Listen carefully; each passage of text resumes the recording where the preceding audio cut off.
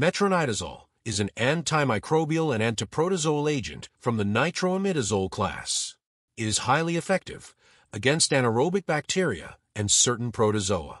Metronidazole is well absorbed following oral administration with nearly complete bioavailability of around 100%.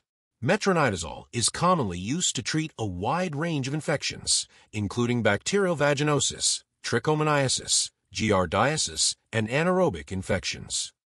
In this video, we will discuss about some important clinical pearls about metronidazole. So, let's get started. Number 1. Anaerobic spectrum.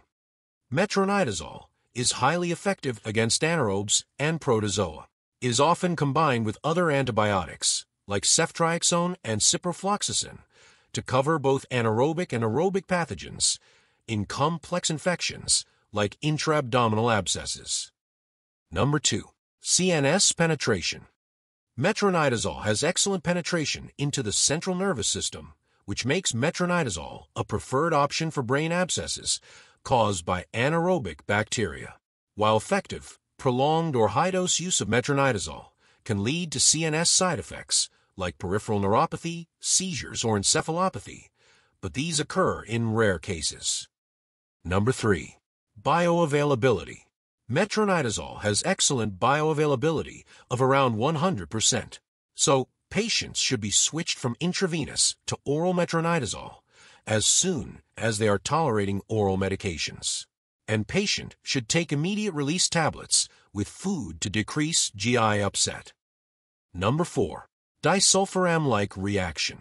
Patients should be counseled to avoid alcohol consumption during and for 48 hours after treatment with metronidazole due to the potential for disulfiram-like reactions.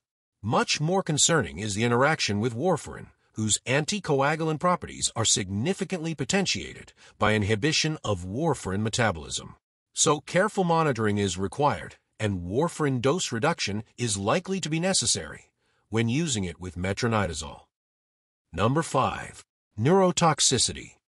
Long-term use or high doses of metronidazole can cause neurotoxic effects, including peripheral neuropathy and seizures. Patients should be monitored for these side effects and treatment should be discontinued if neurological symptoms develop. Number 6. Safe in renal impairment. Metronidazole requires no dose adjustment in renal impairment. However, accumulation of its active metabolites in patients with severe renal dysfunction may warrant close monitoring. Metronidazole has warnings for causing aseptic meningitis, encephalopathy, and optic neuropathy if accumulation of metabolites occur. In summary, metronidazole is an effective antimicrobial and antiprotozoal agent primarily used for infections involving anaerobic bacteria and certain protozoa. Its ability to penetrate various body tissues, including the CNS, makes it useful for a broad range of infections, from brain abscesses to intra-abdominal infections. Due to potential drug interactions, and its disulfiram-like effect with alcohol, patient education, and careful monitoring is crucial to prevent adverse outcomes. So, that's all for today. If you found this video helpful, let us know in the comments below which drug class you'd like to see Clinical Pearls on next. Keep learning, keep growing, and as always, stay tuned for more. Thank you.